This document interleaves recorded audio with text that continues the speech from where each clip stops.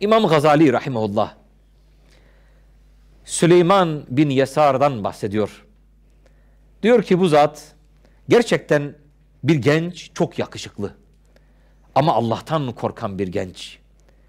Çok cömert bir insan, iyi huylu bir insan, insanların sevdiği, insanlarla iyi geçinen, haram noktasında kılı kırka yaran bir insan. Böyle bir zat, bir genç. Bir gün karar veriyor, hacca gitmek için Medine'de kalan bu zat, Mekke'ye gitmek üzere yola çıkıyor.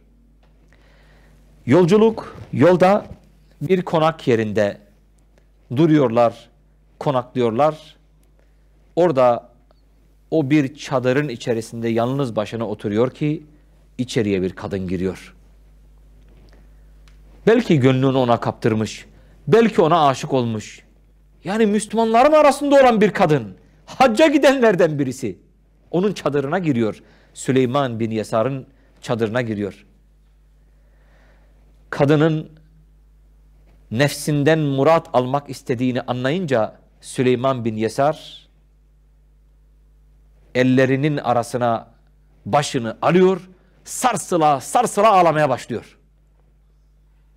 Gençler, şu sahneye bakın, bir de bizim bugün o hayasızların peşinde koşan Müslüman gençlerimize bakalım. Süleyman bin Yesar bizim işte örneğimiz. Sarsıla sarsıla ağlamaya başlayınca kadın gerçekten hayret içerisinde şok olmuş bir halde biz de şok oluruz öyle bir durumda. Süleyman bin Yesar ona diyor ki seni bana şeytan gönderdi. Yani sen şu anda şeytanın esirisin.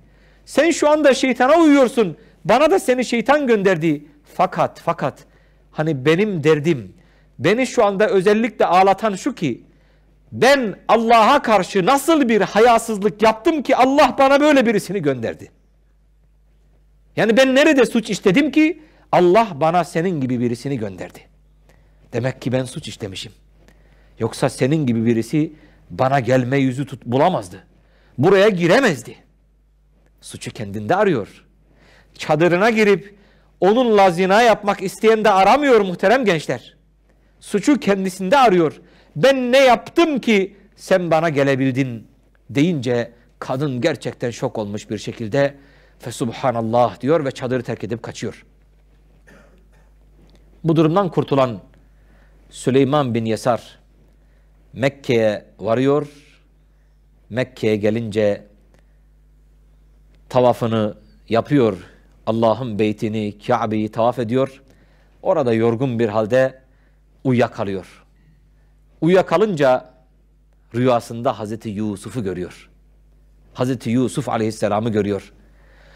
Hoş geldin diyor Hazreti Yusuf aleyhisselam. Hoş geldin sen benim kardeşimsin diyor. Zira Hazreti Yusuf'un hayatını bilince neden Hazreti Yusuf'un ona benim kardeşimsin dediğini anlamış oluruz muhterem kardeşlerim. Hazreti Yusuf başlı başına bir ders. İffet noktasında tüm şartlarını, tüm çeşitlerini kapsayan bir imtihanla imtihan edilmiş bir peygamber muhterem kardeşlerim. Şöyle de diyebiliriz. İffet noktasında Hazreti Yusuf aleyhisselam bizim için belki de tarihte en büyük örnek. Yusuf suresinde Allahu Azimüşşan bunu dile getirmiş. Bizim için örnek olarak sunmuş muhterem genç kardeşlerim. Neden tüm çeşitleriyle ve tüm imkanlarıyla dedik? Hazreti Yusuf aleyhisselam güzel ama böyle normal aciz dilin ifade edeceği şekilde güzel değil. Yani o o kadar güzel ki saray kadınları dahi o onların karşısına çıktığında güzelliğinden dolayı parmaklarını kesecek şekilde güzel. Yani böyle neden saray kadınları dedim? Çünkü onlar her şeye sahip insanlar. Tüm imkanlara sahip insanlar böyle olmasına rağmen Hz. Yusuf Aleyhisselam'ı gördüklerinde Kur'an'ın ifadesiyle parmaklarını kestiler diyor Allah Celle Celaluhu. Böyle bir güzelliğe sahip. Ve onu zinaya davet eden kişi de sıradan birisi değil. Sarayın azizinin hanımı, efendisinin hanımı. Güzel olan bir kadın, makam sahibi bir kadın, zengin olan bir kadın, halvet noktasında tam bir halvet gerçekleşmiş. Yani odada yalnızlar ve ötesi daha da önemli dikkat edin. Eğer zina yapmazsa, kadının istediğini yerine getirmezse tehditle karşı karşıya. Başına büyük işler gelecek.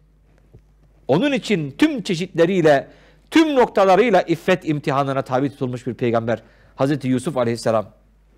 Ve o bütün bunlara rağmen böyle bir ortamda, böyle zor şartlar altında iffetine toz kondurmuyor.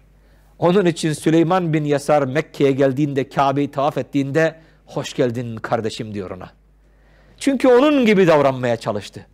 Onun gibi davrandı ey gençler. Örneğimiz Hazreti Yusuf olsun. Örneğimiz Süleyman bin Yasar olsun. Aklımıza o sahnelerle, o durumlarla, o iffetsiz ve hayasız kadınlarla veya genç kızlarımız için bunu söylüyorum. O hayasız erkeklerle, müstehcen sahnelerle karşı karşıya kaldığınızda işte o hadis-i şerifler, bu anlattığımız örnekler gelsin muhterem kardeşlerim.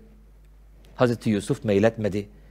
Ve o tehlike ortamından kurtulmak için senin gibi benim gibi sadece yine gözünü kapatıp kurtulmak değil. Belki o bulunduğu yerden bir adım iki adım dışarıya atıp arabasına binip gitmek değil hapise girmesi gerekti. Ona rağmen hapise girdi ve tercih et, tercih hapis oldu.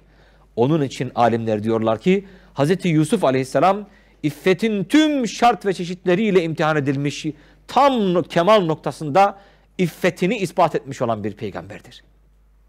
Yani düşünebiliyor musunuz bu şartları? Zaruret vardır diyeceğiz belki. Başka imkanım kalmadı diyeceğiz belki. Fakat Hz. Yusuf aleyhisselam işte bu şekilde davranıyor.